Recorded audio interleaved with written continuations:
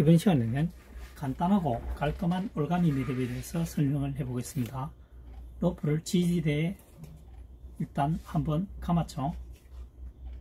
감쌌습니다.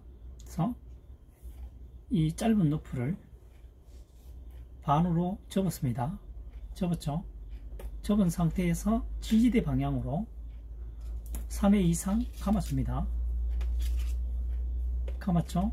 이 로프를 3회 이상 감은 가운데 속으로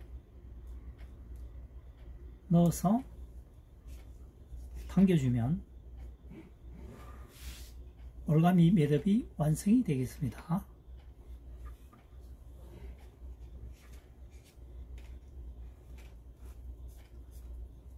다시 한번 설명해 보도록 하겠습니다.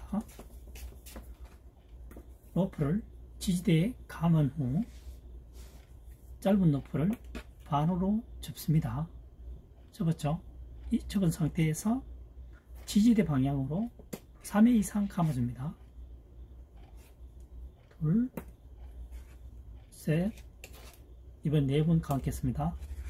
세서 끝가닥을 이 고리 속으로 네 번 감았으니까 네 개의 고리 속으로 통과시키겠죠?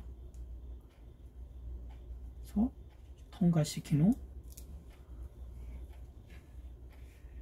강하게 당겨주면 되겠죠.